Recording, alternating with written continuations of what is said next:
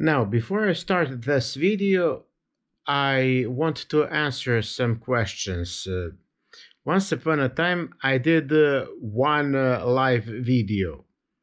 No matter what uh, was it about, uh, but uh, I recently saw that we, video once again. I wanted to see if Dobroslav was uh, the only one that uh, left a comment. And uh, afterwards, uh, there were uh, some uh, more people. So I would like to answer those questions. Here, Katten Gustav 1 or Katten Gustav 1, however, asks me, How fast does your Mercedes go? Well, once I was uh, driving uh, her or it, however, 200. And uh, I was at uh, 5500 RPM. So I believe that uh, she can do 210 that was one and the only time I had my GPS on and I saw the road. The road was uh, as uh, straight as an arrow. And well, for about three seconds, that's how uh, much road I had. So I could drive it 200. CJ Chrome uh, says, just to say, have a W124 260E from 1986 with uh, 205,000 kilometers. Your videos are very helpful.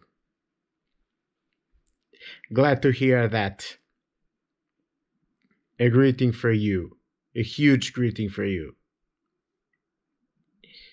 Jaroslav Hinoradski says, Bok Ivica, ja tebe gledam u Slovačkoj. Veliki pozdravi za tebe, Jaroslave. Pozdrav za celu Slovačku od mene. Srećno vencovanje i tako dalje. CJ Scrum uh, asks me now. Does the Bosch aftermarket fuel pump uh, you bought a few months ago uh, still work fine? Yes, absolutely. Absolutely fine. Perfect. It works perfect. Štamparija Grafos, pozdrav Ivice. Pozdrav za štampariju Grafos. Veliki pozdrav od mene. So now we can go to the video. In this video we are going to be talking about the illumination. Uh, more precisely about uh, the central console. So let's go to the garage. Shall we?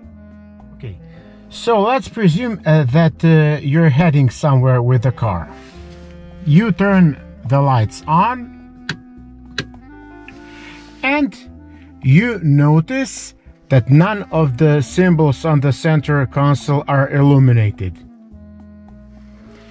Neither the rear defroster, the hazards, the switch for uh, the rear light, or the one here for the sunroof or if you have uh, power windows for example they are not illuminated uh, heating seats also.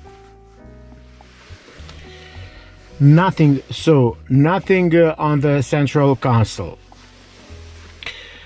So where's the problem and how can we solve it in order to solve your problem, you will need to remove the dash. As you do, then here if you look here at this uh, red little thing well that's uh, the fuse that uh, is blown and this one you will have to to, uh, to see to check if it's okay or not I'm going uh, to uh, put you the number of it in the description below. So as you have seen me doing this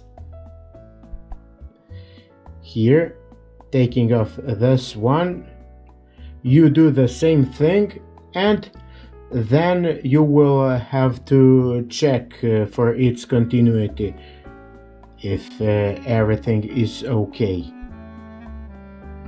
Just select here buzzer as uh, I have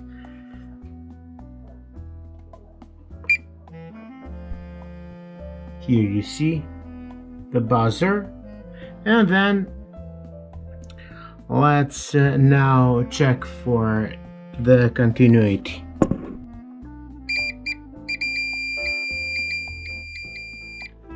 So this one is good.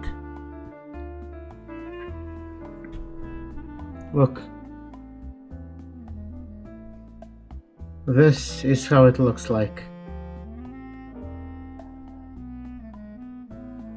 Replace this one and the, the issue solved.